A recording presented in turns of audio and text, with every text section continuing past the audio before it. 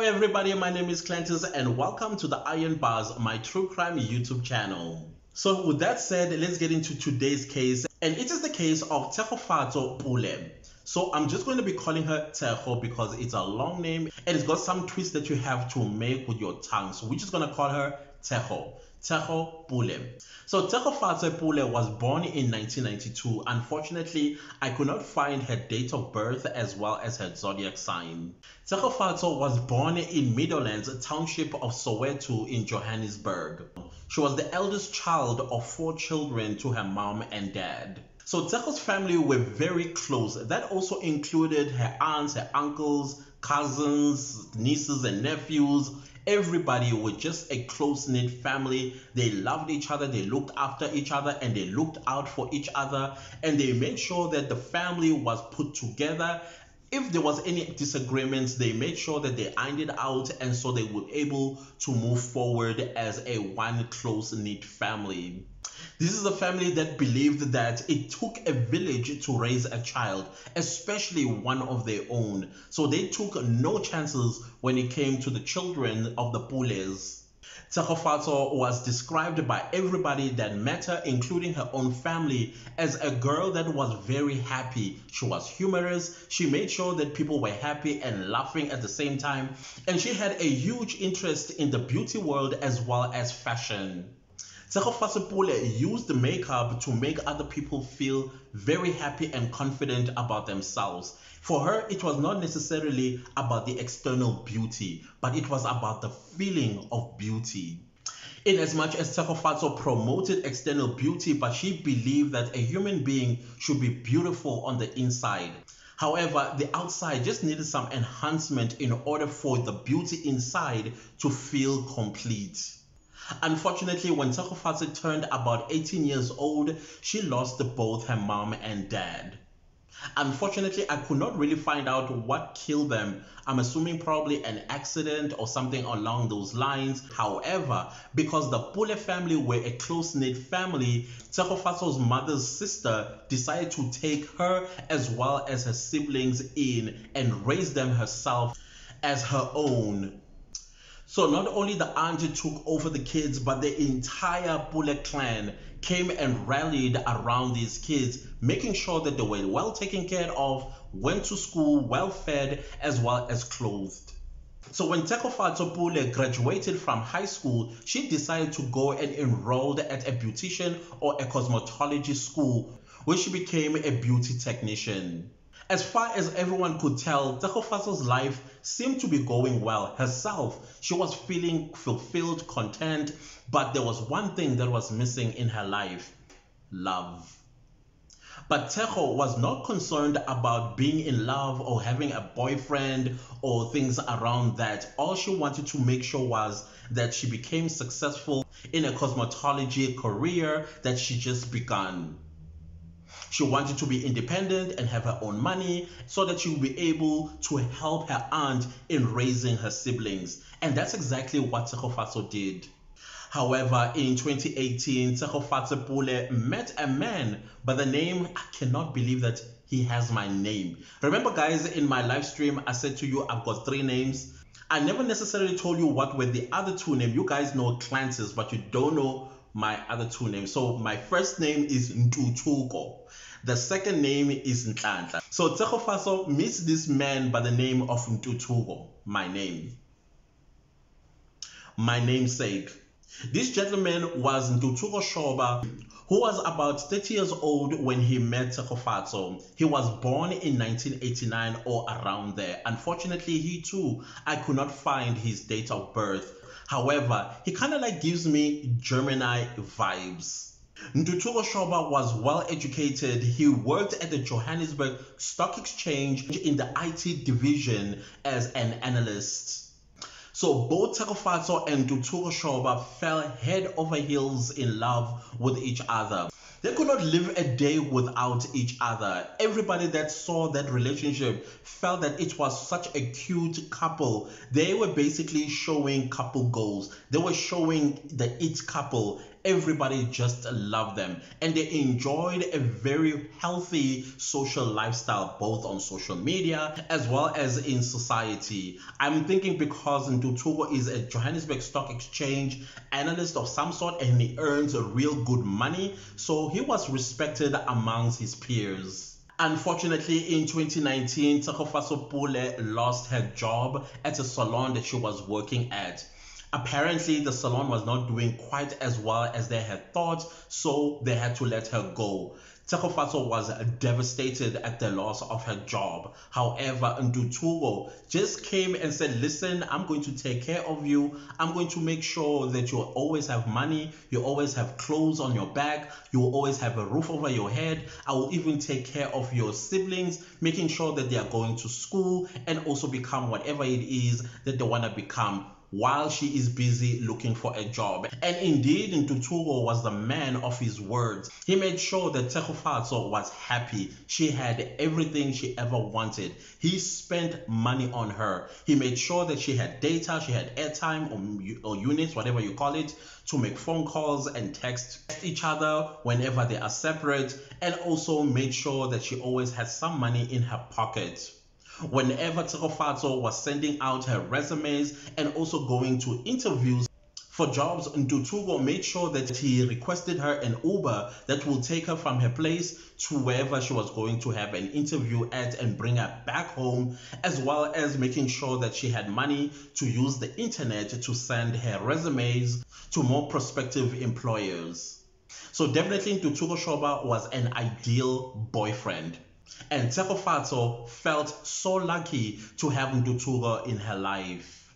With the money that she was getting from Ntuthuko, Tshegofatso made sure that she contributed to her aunt's household because she was bringing up her siblings as well. So the aunt was quite happy that Tshegofatso was in a relationship with a good man. In the same 2019, Tshegofatso fell pregnant by Ntuthuko. So Tshegofatso, excited and happy to announce to her boyfriend that she was pregnant, unfortunately Ntuthuko put an end to it. He ordered her to commit an abortion. Tshegofatso was quite disappointed, however, she did terminate her pregnancy. When Tshegofatso asked Ntuthuko, why did you order me to commit an abortion? That is when Ntuthuko told her that it was a mistake to begin with. But Tshegofatso did not understand why her loving boyfriend did not want to tell her the real reasons why he wanted her to commit an abortion. But Ntuthuko once again shut her down and just made sure that they never spoke about this again. So Tshegofatso, because she did not want to lose the things that she was getting from Ntuthuko, she decided to let it go. So the relationship went back on track. They were lovey-dovey. They were like the example couple. Everybody envied. And he was just doing the most for Tshegofatso, making sure that she was the happiest girlfriend. So in 2020, Tshegofatso once again falls pregnant. But this time she was reluctant in telling Ntuthuko that she had fallen pregnant again. So as you know, in 2020, what was starting to happen around the world, there was this talk of this virus called Corona. Well, you know what I'm talking about. I can't necessarily say it here on YouTube because YouTube frowns upon that. So, anyways, so as you know, that countries around the world were warning their citizens to make sure that they take care of themselves. So, just before the lockdown that took place in 2020, that is when Tshegofatso told Ntuthuko that she was pregnant. And the interesting part about her pregnancy, she kept it from Ntuthuko for quite a long time before she broke the news to him. She was already almost eight months pregnant when she told Ntuthuko about her pregnancy. Of course, Ntuthuko flipped. He was not happy hearing that Tshegofatso was pregnant once again. Guess what he did? Once again, he ordered Tshegofatso to commit an abortion. But this time she stood her ground and told Ntuthuko that there is no way that she is terminating another pregnancy. Ntuthuko was angry, he was livid. But Tshegofatso did not understand why Ntuthuko did not want children. So she just stood her ground and said, I'm sorry, I'm keeping this baby. So eventually, when we went under lockdown and they kept going back and forth, back and forth, I mean, during that lockdown, nobody was allowed to go out. So Ntuthuko was living at his own place while Tshegofatso lived with her aunt in Meadowlands. So they could not necessarily meet. Ntuthuko could not drive to Soweto to meet with Tshegofatso where they would talk face to face where he would look her in the eyes and basically force her to commit an abortion.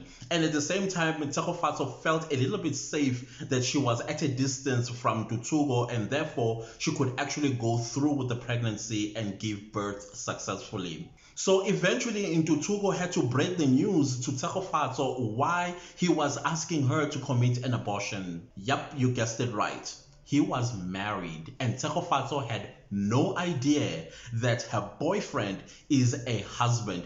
Well, not necessarily married. So let me explain. So Ntuthuko had a traditional wife. In the Zulu culture, there is no such a thing that is an engagement necessarily. We have a process called lobola. So basically, this is where when a man wants to take a wife, he sends his uncles to the girlfriend's uncles where they sit down and negotiate dowry. I think I've explained this before. And um, once there's an agreement and there's exchange of uh, that dowry, then uh, then there's a traditional do that takes place like a traditional marriage, and as a result, they are now considered husband and wife versus the Western marriage, which was going to come at a later stage. So in this video, I'm going to refer Ntuthuko as a married man, not as an engaged man. In the Western culture, he's engaged to be married, but in the Zulu culture, he is already married. So that is why I'm going to say he has a wife, he's married, and stuff like that. Anyways, so Ntuthuko finally breaks the news to Tshegofatso, telling her that he's actually married. So Tshegofatso, of course, she was heartbroken at hearing this news. She told her aunt about this that actually the boyfriend that she thought was her own she is actually the other woman. And then Tshegofatso's aunt was not happy at hearing that. She basically called a family meeting to let them know that Tshegofatso was involved with a married man. The uncle, Tshegofatso's uncle, was also not happy. He even told her, he even told her that had we known about this, you would have never been in a relationship with a married man. This is wrong. But unfortunately, at this point, she was already far into it because she was almost eight months pregnant. And as a result of that too, Tshegofatso could not terminate the pregnancy because it was way too late for her to commit an abortion. So Ntuthuko and Tshegofatso once again went back and forth, back and forth about committing, about terminating the pregnancy. So of course Ntuthuko was quite frustrated at hearing this and he wanted to know why didn't you tell me the moment you found out that you were pregnant? She said, I was afraid of exactly this. And Ntuthuko was like, you know what? Next time, just do what I tell you. So Tshegofatso was like, anyways, it's too late. If you don't want to raise this baby, if you don't want this baby, it's fine. I will raise the baby by myself. You don't have to be involved in the child's life. So when Ntuthuko kind of like heard those words, that is when he had a change of mind. Out of the blue, Ntuthuko was supportive. Ntuthuko was looking forward to be a father for the first time. Ntuthuko wanted to do everything under the sun for this new arrival baby clothes at the crib, everything that the baby was going to need, all bought by Ntuthuko. Why did he change his mind? What happened? What is it that he wants this time? Because he was adamant about not having this baby or being part of this baby's life. But suddenly, the house is now filled with baby clothes and baby and baby formulas and the crib, everything that you can imagine a baby would need, they had it. However, Tshegofatso's aunt was like, something ain't right here. Something, her instincts were telling her something was not was not right. However, she could not put her finger on it, what it was, so that she can advise her niece appropriately but she just dismissed it and thought, okay, maybe he had a change of mind, and uh, he realized that he was basically denying a whole human being. So she just let it go. But the family were quite disappointed that Tshegofatso was involved with a married man, despite Tshegofatso being in a relationship with this man for two years without knowing that he was married, including his own wife. She was unsuspecting that her, that her husband was having an affair. However, while Ntuthuko was busy showing love and affection and a change of heart and showing excitement about meeting this baby, he was thinking of a different way to get rid of this baby. And interestingly, Tshegofatso and Ntuthuko had already agreed on the baby's name, and it was a baby girl. The part that I'm trying to understand is how in the world did Ntuthuko manage to hide all of this from his wife, considering the fact that everybody was at home, quarantined, and we were all on each other's faces. How did he manage to hide a whole pregnant girlfriend from his wife? It boggles the mind to me, honestly. I, don't know. I don't know. So around April 2020, Tshegofatso started getting text messages now, these text messages were threatening. They were basically they were basically coming from Ntuthuko's wife, who was telling her, "Listen, please leave my husband alone. You are wrecking my household. Please leave him alone." In some days in April, the text would threaten Tshegofatso that the wife was going to come right at her door and beat her silly because she refuses to leave her husband alone.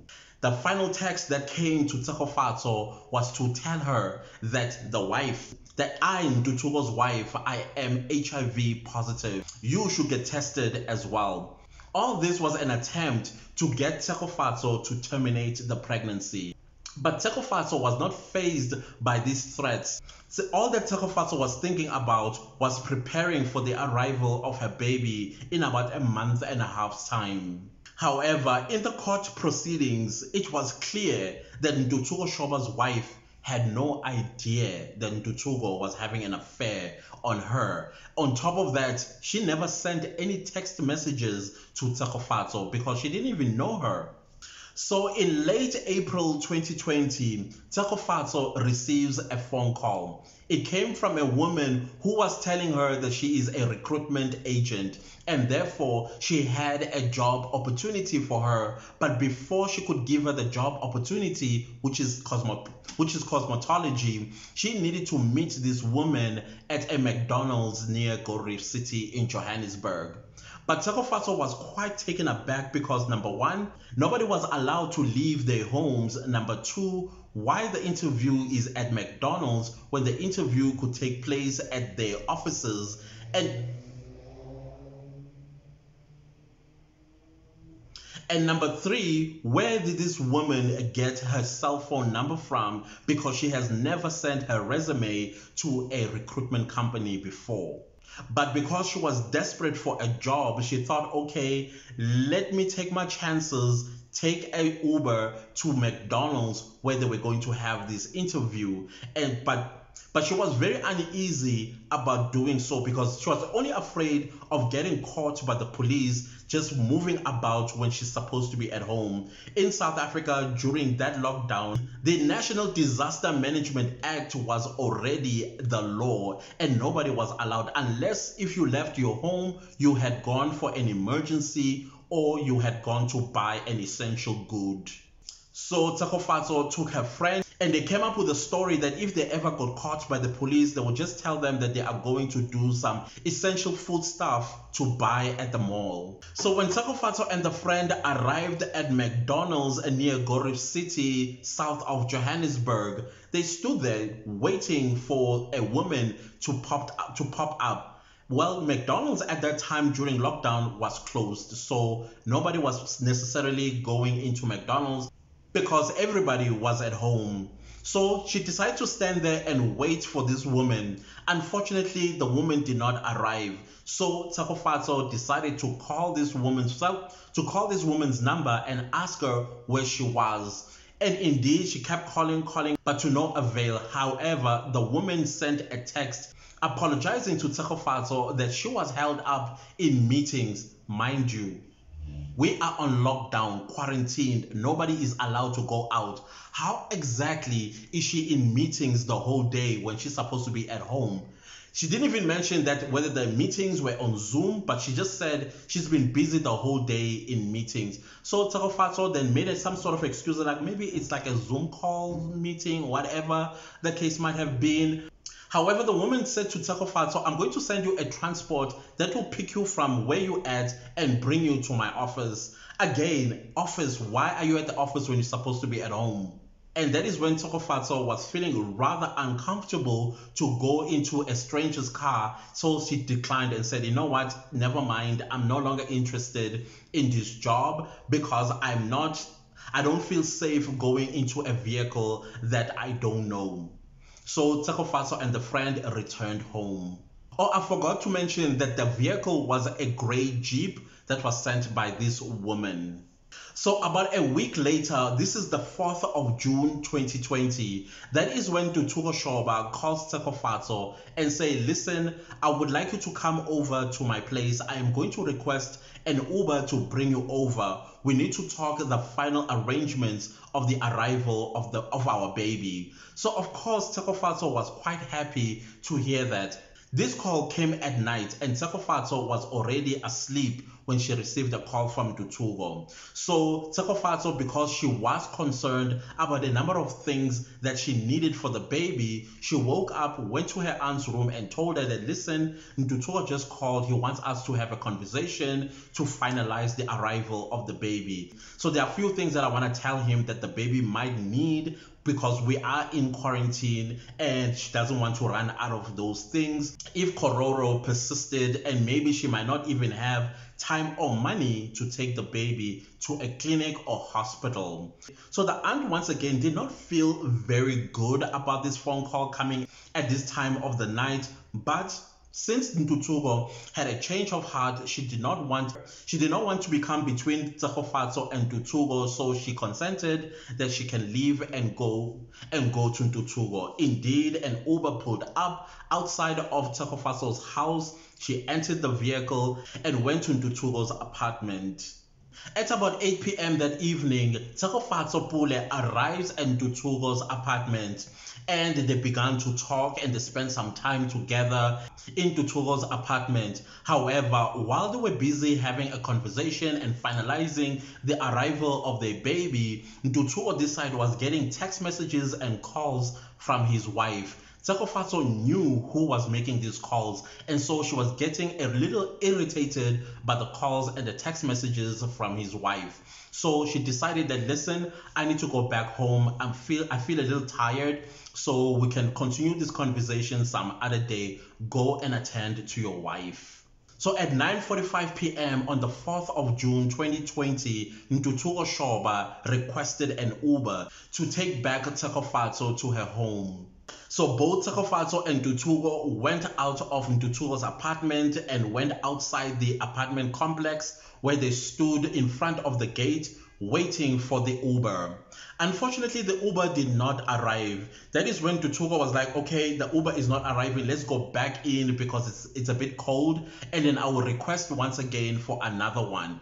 Indeed, Ntuthuko and Tshegofatso went back into the apartment where he requested once again another round. So at 10.06, a gray Jeep, well, we're assuming it's the Uber, pulled up in front of Ntuthuko and Tshegofatso. And that was the last time Tshegofatso was seen alive. Seeing that Tshegofatso has not returned home for the past two days, Tshegofatso's family began to worry. So they started making calls around, calling Tshegofatso's friends to ask if they heard anything from her. And they were all like, no, we haven't heard anything from Tshegofatso. Even though we tried calling her several times, she would not pick up. As a matter of fact, her cell phone is on voicemail, something that she has never done before. So Tshegofatso's aunt then asked the friends if they could please call Ntuthuko Shoba and ask the whereabouts of Tshegofatso. Now, this part kind of like reminds me of Karabo Mokoena, who was murdered by her boyfriend by the name of Sandile Mantsoe. So one of the friends then calls Ntuthuko Shoba to ask the whereabouts of Tshegofatso. That is when Ntuthuko was like, hey, she was at my place about two days ago.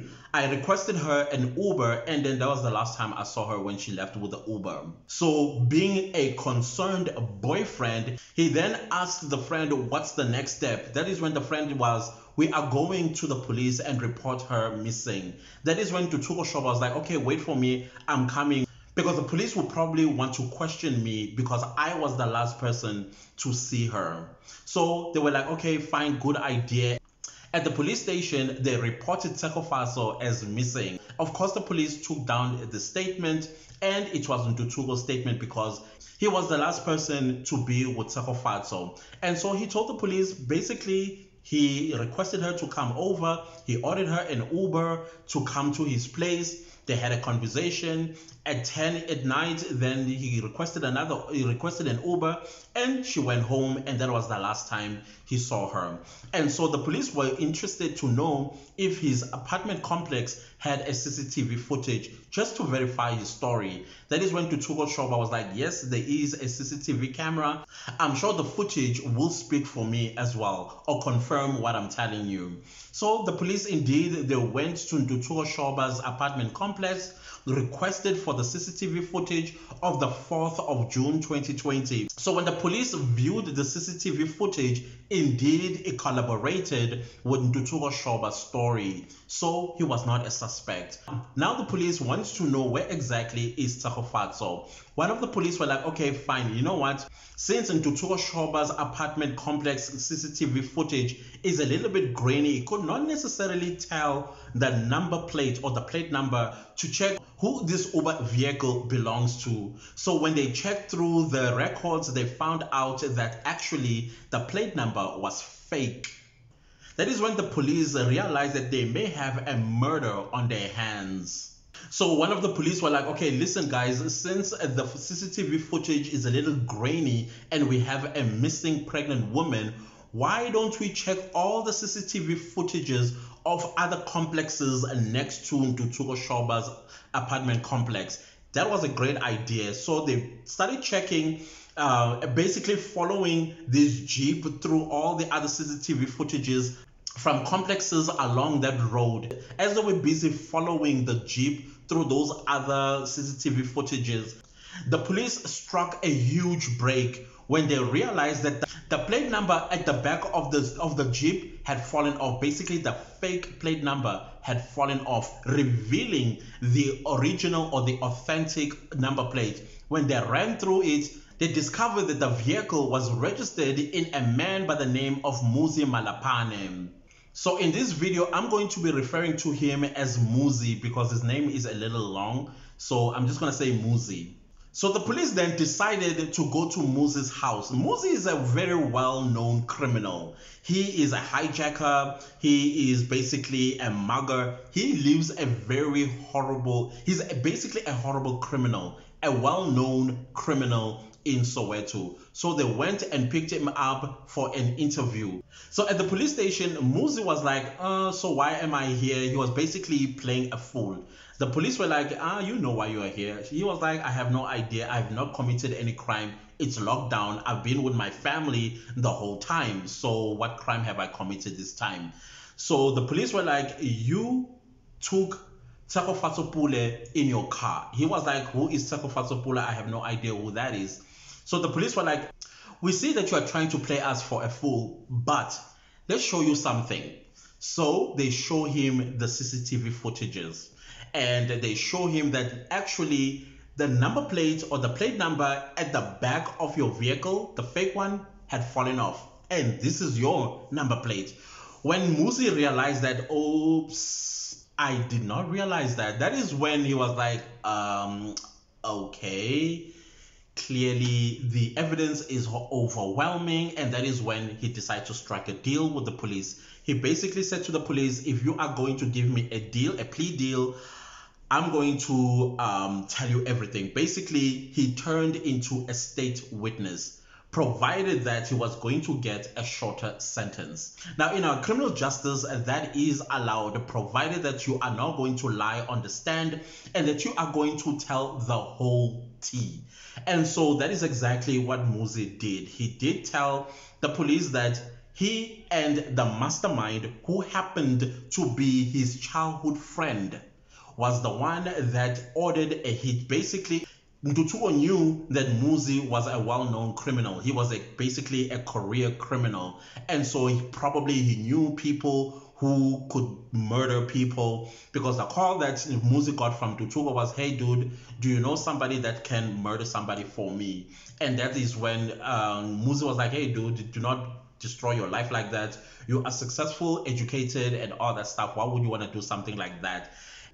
So Ntuthuko tells Muzi that, listen, I'm going to pay whoever is going to do this job for me 70,000 Rand. And on top of that, I am waiting for 8 million Rand from my wife's mother's passing on, who had a life insurance of 8 million Rand. So they are just waiting for a payout. When Muzi heard about the 70,000 Rand pay, he was like, okay, listen, I'm going to do it myself. I don't have to hire anyone for you. I will do it. I think Ntuthuko, that's exactly what he wanted because he was going to do the perfect job as far as he was concerned. Ntuthuko gave Muzi the instructions that the murder needs to look like a suicide. So when the police asked Muzi why didn't Ntuthuko want Tshegofatso killed, that is when he said it's because he he wanted to hide the pregnancy from his wife, and he also did not want his wife to leave him because if his wife left him, he would lose out on the 8 million rand payout. Ntuthuko emphasized and re-emphasized that the murder needs to look like a suicide, like she hanged herself on a tree. So on the 4th of June 2020, when Tshegofatso went to Ntuthuko's home to have a conversation about the final arrangements for the child's arrival, and when he called the Uber, he was basically calling Muzi to come and fetch her so he can do the job. So when Tshegofatso and Ntuthuko stood outside waiting for an Uber, it was the gray Jeep. Remember the gray Jeep was the same gray Jeep that had come sent by that woman who wanted to interview Tshegofatso and basically that plan failed because Tshegofatso did not go into the vehicle. So after picking up Tshegofatso Pule at Ntuthuko Shoba's apartment complex, they drove to a bridge. There was a bridge that Ntuthuko had instructed Muzi to hang up from. But when he got to that bridge, it was too busy, so he became afraid to just tie her and throw her over the bridge, hanging hanging her basically. So he then decided to take her to a place in North Khaseg, which is not far from Soweto. There was an open field where he opened fire, basically shooting her several times on her chest. When she died, he threw her at the back of the jeep and then drove to Roodepoort. When he got to Roodepoort, that is when he found a tree tied the noose around her neck, and then hanged her from there. So it's not quite clear who found Tshegofatso hanging from the tree, but we know that the police found her hanging from a tree in Roodepoort, and they knew that it was not a suicide because of the bullet wounds on her chest. They knew right there that they had a homicide investigation on their hands. So on the 19th of February 2021, Muzikayise Malaphane was then sentenced to 20 years imprisonment for his involvement in the murder of Tshegofatso Pule. So Tshegofatso's aunt was not happy with Muzi's sentence of 20 years imprisonment. She said her biggest worry is the fact that what if Muzi is a model prisoner? Because in South Africa, when you're a model prisoner, you actually get released earlier uh, on good behavior. So she felt that at least he should have gotten a harsher sentence than just 20 years, considering the fact that he was the one who killed her, basically pulled the trigger, shot her several times, drove her to uh, to Roodepoort and hanged her from a tree. The aunt said, This man is cold blooded. She said you could tell with his demeanor in court that he didn't care. She felt that he deserved to rot in prison, not 20 years. So immediately after Muzi was sentenced to 20 years in prison for the murder of Tshegofatso Pule, then the police focused on Ntuthuko Shoba. They went and arrested him. He was at home with his wife.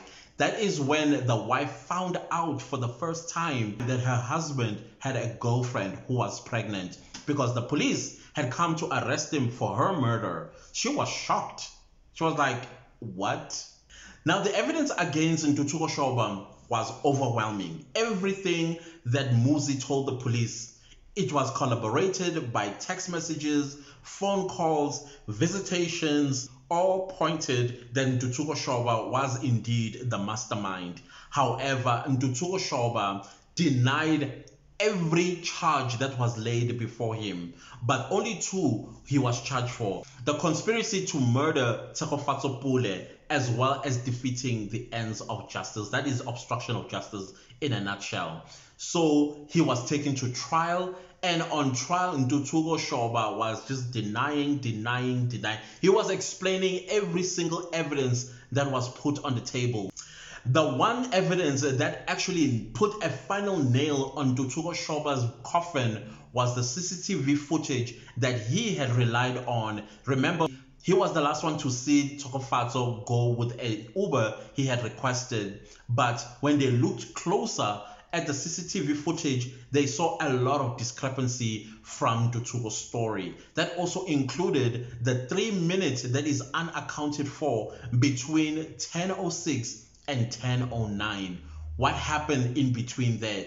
Did Tshegofatso go into that Jeep voluntarily or she did not? Me, I think she recognized the Jeep from last week and thought, why is the same Jeep here to pick me up as an Uber? So she probably decided, like, you know what, I'm not going into this vehicle, but pro- probably she was overpowered by both the driver and Ntuthuko or the driver already had people who got out of the car, grabbed her, threw her in the car, and pinned her down, and then they drove off. So we don't know what exactly happened. And how exactly did Ntuthuko manage to go to the complex's security to wipe out that three minutes that is unaccounted for on that CCTV footage? However, Ntuthuko Shoba could not explain the unaccounted three minutes in that CCTV footage. All he could tell the court was probably there was a glitch in the uh, in the CCTV camera. So the court was like mm, highly unlikely because the camera was working perfectly fine. Why at that moment that happened? He was like, it's a coincidence maybe. So on the 25th of March 2022, Ntuthuko Shoba's trial finalized with a guilty verdict because the court did not believe a word that came out of his mouth defending himself about the evidence that was put before the court. Judge Stuart Wilson, this is what he said in his findings. Count 1 guilty for premeditated murder of Tshegofatso Pule and count 2 not guilty for defeating the ends of justice or obstruction of justice whichever way you put it. So on the 10th of May 2022, Ntuthuko Shoba will return to court for mitigation of sentence as well as sentencing. The state plan on asking the court to sentence him to life imprisonment without the possibility of parole. The family and friends of Pule were elated at the judgment. They were very happy. They thought Ntuthuko Shoba got what he deserved. So I think that on the 10th of May 2022, Ntuthuko Shoba will indeed get a life sentence without the possibility of parole, simply because in court he did not admit to anything. He showed absolute no remorse or could care less about the death of his girlfriend as well as his unborn baby. Now, the reason why he was not charged with the murder of his unborn child as well, that is because in South Africa, when a woman is pregnant, it is called fictitious, meaning it's almost like a phantom pregnancy. I don't know why. That's how our, that's our law, and the principle is called nasciturus fiction, basically meaning that yeah, there is a human being, but there's no human being. Basically, I think that's the reason why abortion is allowed in South Africa because of that principle, nasciturus fiction.